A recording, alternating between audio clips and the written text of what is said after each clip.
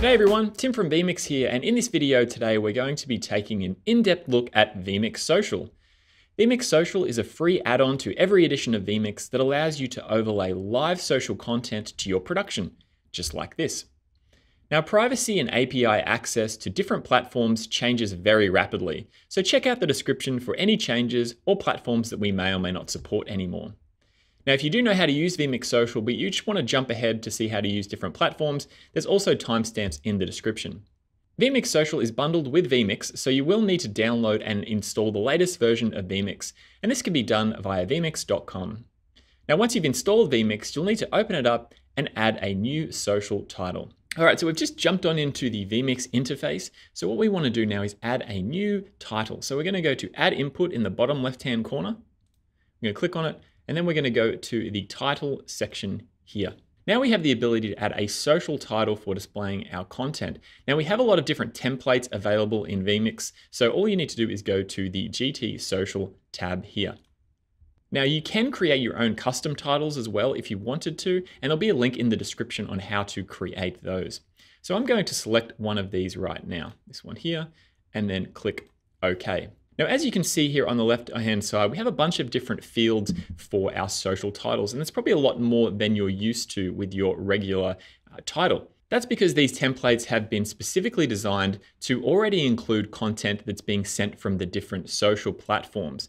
For example, on the left-hand side here, you'll see things like from name, from photo, photo, message, and that sort of thing. So that's information that's being sent across like their profile picture, their message, and those sort of things from the social platform that automatically send that content to these specific fields. Now, some of the templates include a title field up the top here, and that's something that we've added so that you can add your own title to the social title that will appear. So you can add some branding or a hashtag and that sort of thing. So this isn't going to be automatically populated by the platform. You can do it yourself in vMix. So I'm just going to add, let's call this vMix tutorial like so.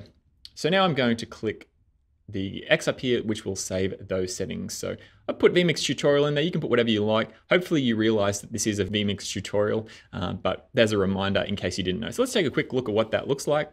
So this is what the social template will look like. As you can see, the message from the social platform will show up here. You'll see the profile image here, their name will appear here. And I've been able to edit this section down here just so it says vMix tutorial. So that won't change by the social platform. All right, so now that we have our title template ready to go, we can open up vMix Social. Now vMix Social can be found by searching for it in Windows Explorer, or you can take a walk down to the local hamburger menu in vMix in the bottom right-hand corner, click on it, and then select vMix Social from this list here. All right, so vMix Social will automatically search for and connect to vMix if it's running. As you can see here, it says vMix connected. Now, vMix Social supports a number of different social platforms. Again, check the description for the currently supported platforms as this may not quite resemble this screen that I have here, and I might be a little bit too lazy to make another tutorial if that changes. Who knows, we may have to support something like Grizzle in the future. Okay, so keep in mind that you can use multiple sources here if you want. This is especially handy if you're streaming to multiple locations. For example, if you're going to Facebook, Twitter, YouTube, you can include all of the content from those different platforms. Okay, so let's set up Facebook first, seeing as that's probably why you're here. Now, it is going to be a little bit embarrassing if they remove their commenting API tomorrow and I've wasted this video. So I'm going to click on the Facebook logo right here, and that's going to open up the settings. So first of all, for Facebook, you will need to log into your account and authorize it to be used with vMix Social. Now, once that's completed, you'll then have the ability to grab any comments from any Facebook pages that you want to see comments from. Now, keep in mind that you can only use public Facebook pages that you are an admin of. So this isn't going to work for personal or group pages. Now this is due to Facebook's privacy policies and we can't change that. Okay, so once you've logged in, you'll see any pages that you are an admin of from this drop-down list here. Now we only have vMix, so that's the only one that I can select, but if you had a number of them, you could see them in that list here. Now if I wanna see any posts available from that page, I just click Find Posts here, and that's going to populate it in this drop-down menu. Now that will show the most recent 25 posts made on that page. So here's an important thing. Now, if you're planning to use Facebook live streaming comments, so ones that are coming in live as you are streaming, it's best to create a scheduled stream in vMix so that you can select the stream's post ahead of time. So if I was going to schedule my Friday petrol stream, I could do that today, and then I can automatically see that from the drop down list and select it. So I can have it already primed up and ready to go. And what's cool is that I can start seeing comments from that post even before I start streaming. So if someone posts today um, leading up to the stream, I can include that in the production and I can also include live ones coming in as I'm streaming. Now, if you decide to not schedule the stream and just do it live, you will need to wait until the live stream has been created and then you'll have to go in and populate this list again in order to see it. So that's not ideal. You don't want to have to be doing multiple things at once while you're doing your production. All right, so let's choose a post that we can bring in comments from. Because I'm not live streaming, they're not live, but I can grab an older post. So let's go down here and grab an old one from a vMix petrol price. Underneath that, there's a couple of different things, like I can choose comments that only have photos and clear the previously downloaded comments. So I'm gonna leave that as it is and click OK. All right, so let's add some Twitter. Hashtag blessed, hashtag vMix social, hashtag Mr. Worldwide.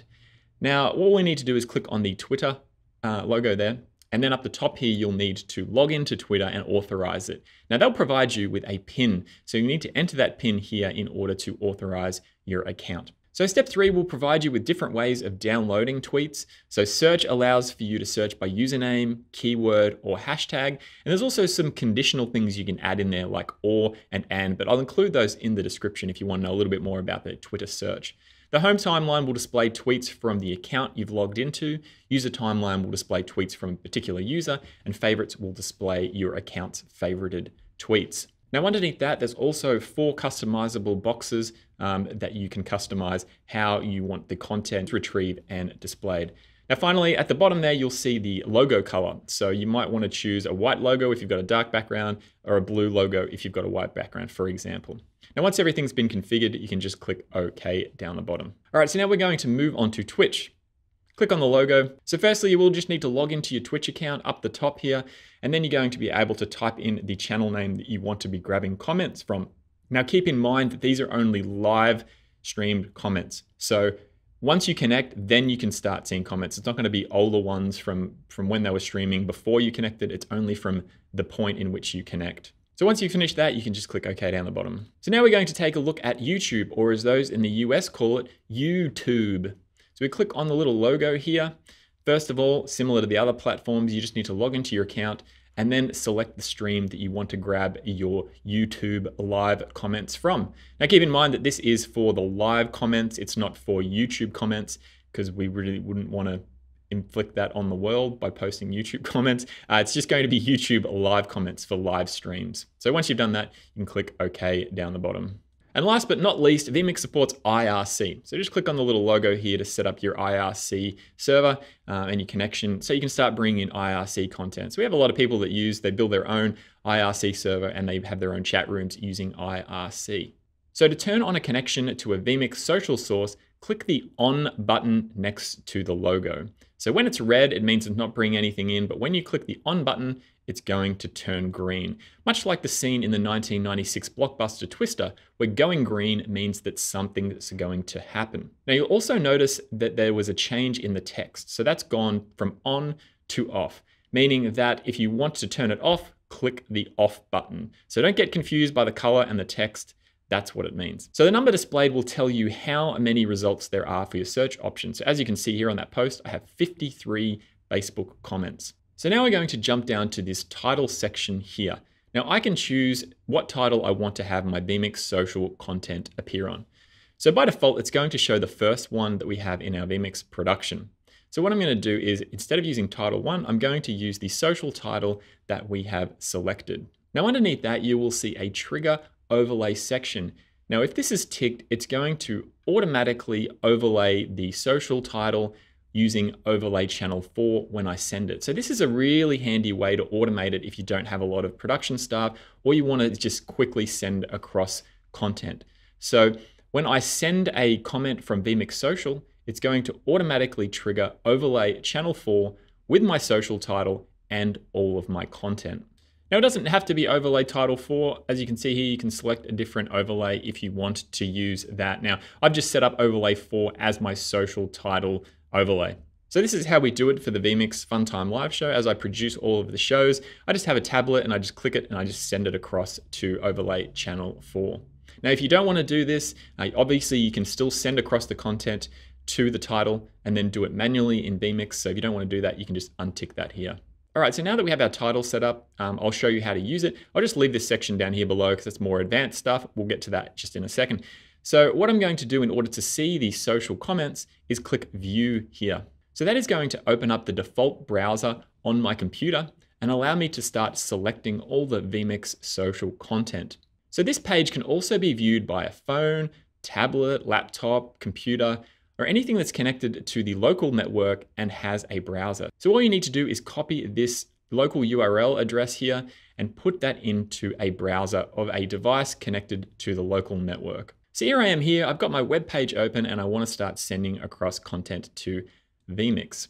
So selecting and approving content is easy. All you need to do is click the content that you want to use and then click send. So here I am in my browser. As you can see, I've got all of my social comments here that are ready to start being seen in my production. So what I'm gonna do is just left click on this and then it'll bring up a screen that allows me to send it to my production. So all I need to do is click send, and that's going to send the content directly to my vMix social title. So as you can see there, it has now appeared in my production. So let's just do another quick demonstration in real time. I've got my browser open, I click on it, and then I click send, and that's going to automatically populate my title and overlay it in channel four. Now a green icon will appear next to the content to indicate that an item has recently been sent. As you can see here, a little green icon. Now you can also add items to a queue if you want to. All you need to do is click on it and then click add to queue and as you can see, a little orange icon appears next to it to let you know that it's in the queue. So let's add this one in here. Now, in order to view the queue, which is very hard to say, uh, all I need to do is click the view queue section up the top. And it's gonna show me any comments that I have in my queue. Now, the queue allows you to build a moderated list of items that can be sent either manually or automatically. So sometimes when we do our live show, I like to go through this while Martin's talking and build up a queue, and then I can go back to the queue and then start sending them across when he's ready for more questions. Now, if you want to get back to the content, all you need to do is click view all, and it will allow you to go back to all of the comments that you have available to you. Click view queue. If you want to clear it, you can click the queue clear queue button up the top. Now you can also use this bar up here to search if you wanted to search for a particular person. I can click this and I've selected vMix, so it's going to bring up anything with the word vMix in it, including my user. Now, if you want to get back, you can just select this, make it clear, and then click search, and that will bring up all of your comments again. Okay, so let's just jump back to vMix Social. Now in the main window, you'll see a tick box here that says automatically update title with most recent entries. Now, if you select this here, what it will do is it will automatically bring through the most recent vMix social entries automatically. And by default, that's set to every 15 seconds. Now you can change this if you wanted to. You can alter the seconds there if you want. Now you can also edit the rotation underneath that, meaning how many uh, different social things are going to be rotated through. Now, sometimes this is a little bit uh, tricky because these are going to come through unmoderated. So if you're automatically doing it, it's going to come through unmoderated, which isn't very safe. So underneath that, there's a section called queued entries only. So you could build your own moderated list in vMix Social by clicking on all the different things you want to use and adding them to the queue. Now, if you have this ticked here, it's only going to cycle through those queued entries, meaning that you can create a moderated list that it's automatically going to go through. Now, underneath that, you'll see a repeat entries section. So if you don't have any new ones coming through, you can tick repeat entries so it will repeat them and cycle through. Now I prefer to send my vMix social through one at a time. I moderate them and I send them through. So I'm going to untick that. So down the bottom here, you'll see a section that says limit text to a certain number of characters. Now you could untick this to have unlimited text coming through. However, you know, social titles are typically a lower third, so you don't want too many characters coming through. So Basically, we set this to about 300 to 500 characters. I think Twitter is 280. I'm not sure what YouTube is at the moment, but 300 characters is quite a lot of content. Now you can make this higher if you wanted to, it's like 500 characters, because the vMix title templates will shrink the text to make it fit within the box. But like I said, if you make this a thousand characters, then that text is going to look very small and very hard to read. So if you are making custom titles for your social, it's a good idea to have the shrink text available when you create the title so that if you have a number of characters here, then it's just going to shrink it into the box and it's going to be usable. You don't want to cut off someone's comment because they've got important things to say. Now, when vMix Social is connected to a platform, it starts receiving a bunch of different content. Now, as I showed you before, it will send through information like the message itself, their name, and their profile picture. In the social title comments, we've already matched them up for you, so you don't need to change the settings. Now, if you click on the Edit Title Mapping section, you can make adjustments to what connects to each of the different title fields. Now, in the templates that we've created for you, the text and the image fields match up exactly to the API information that's coming through from the platform. So if you're using the same name in your title template, it's going to automatically match them up. So as I showed you before, things like from photo is the profile photo, and that's what's being sent through from the platform. So if I have something called from photo and it's an image, it's going to automatically be linked to from photo, which is the information coming from the platform's API. So it needs to connect up those two things so it knows what to display. So you only really need to play around with these settings here if you've got a custom title. So you can check out the video in the description if you want to build a custom title and start mapping different things to your different sections in your social title. Now, one thing you might want to do is say like the photo source, which is displaying the photo from a comment. You might not want those. What you could do is you could go through and change to something like blank or none. So typically it's going to be on photo. So the photo matches to photo, but you could set this to blank if you didn't want that displayed. But that's just an example. You can play around with that if you want to, but if you've got a title template, I wouldn't. So if you're having some issues with vMix Social, our support team may ask you to check the error logs, which can be selected here by clicking View Log. But they can also be seen by going to your Windows documents and then going to the vMix social folder. So we might need you to send those through to us to take a look. Now you can also click refresh title here down the bottom if you want to refresh some information on the title. Now up the top right hand corner, you'll see a little question mark and that will go through to the vMix social documentation in our help guide. Now something to keep in mind is that because these are third party API connections with vMix social, we can't control if there's going to be issues on the platform. So, for example, if Facebook or YouTube have API outages, we can't do anything about that, unfortunately. So, you may want to have some contingencies in place if you can't access the API. For example, YouTube gives you the ability to pop out a chat window so that you could grab the URL and then overlay that as a web browser input in vMix and maybe put that in the bottom corner. So if you do have any questions about vMix Social, please send us an email via the support page on vmix.com. Any technical questions here will probably just receive a shrug emoji and please email us response. So there's a free trial at vmix.com if you want to try any of vMix or vMix Social out. So thanks for watching and we'll stream you later. There are there are a to that automatedly. So once you've connected up vMix Social to the platforms, their username. we we know where we're going to especially handle. Hand, oh my gosh.